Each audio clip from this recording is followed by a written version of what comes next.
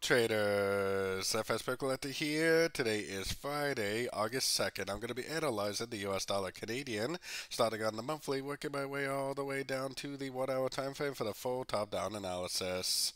So, in the dollar CAD, we are definitely back up at the previous highs almost, but I still think there is a very good likelihood it is going to go down at some point and make a wave B, which is actually, I still think, even though it is back at the previous highs, I still think it's an A, B, C of wave B. So, taking it down to the weekly time frame. Now, on the weekly time frame, you could possibly just call this a 1, 2, 3, 4, 5 waves up, and I definitely wouldn't argue with anybody that did call it that. But I still think that this is very likely one trend right here, which is an A. I think this is three waves down for wave B, and I still think this push up is a wave C, most likely a C of B, and I still think that very likely it is going to turn down and make a wave C of wave B, just like that pattern I was showing on the monthly time frame. Heading down to the daily time frame, I have been doing absolutely nothing but looking for longs on pullbacks ever since we had a break of structure way back here. Very, very profitable going long on this thing for the past several weeks.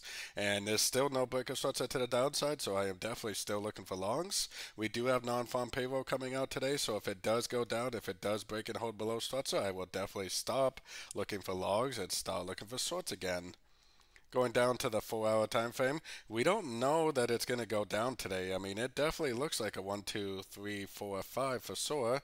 Actually the wave three i think is right here but either way and it definitely does look like it should go down and it looks like it should go down and break structure we don't know that to be true so what am I doing? I'm definitely still looking for longs every single chance I get. There's always a chance it just keeps on trending up, and if it is, I will just keep on looking for longs. If it goes down and breaks structure, I'll stop looking for longs and start looking for shorts again.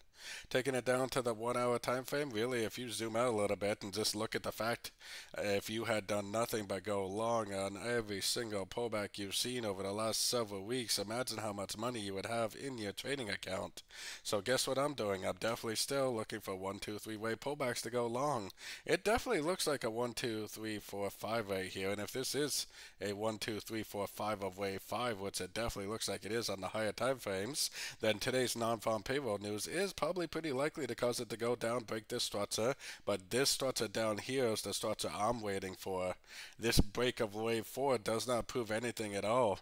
Unless it actually goes down and breaks this structure right here, I am definitely still only looking for longs and only looking to go long on pullbacks. So don't forget to join my free Discord group, which is linked down here in the corner. And as always, thank you and happy trading.